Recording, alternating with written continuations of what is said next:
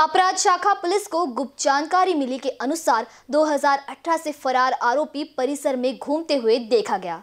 इसी की जानकारी के आधार पर पुलिस ने आरोपी को गिरफ़्तार किया है। इस मामले की आगे की जाँच पुलिस कर रही है। 2018 से फरार आरोपी गोलू उर्फ़ मिर्ज़ा अब्बास शेख को पुलिस ने गुप्त जानकारी के आधार पर धर दबोचा है। आरोपी भूतिया दरवाज़ा कोतवाली निवासी बताया गया है। आरोपी के पास से एक्टिवा और मोबाइल पुलिस ने जब्त किए हैं।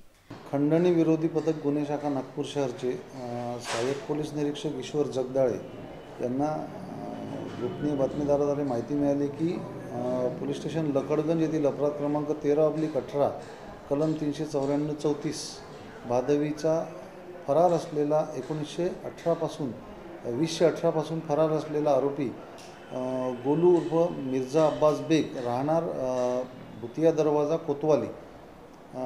हा फिरत आहे त्याला त्यांनी गोपनीय बा माहितीद्वारे अटक केली.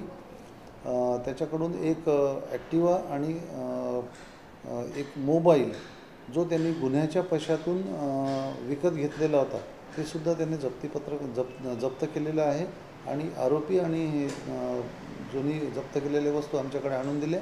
आम्ही त्या आरोपीला सदर गुन्ह्यात समाविष्ट केलं. त्याबाबत त्याला सविस्तर विचारपूस करणे सुरू आहे. त्यांनी जो जे मोबाईल आणि वाहन जे विकत घेतलं आहे त्याच्याबद्दल शहानिशा करणे सुरू आहे.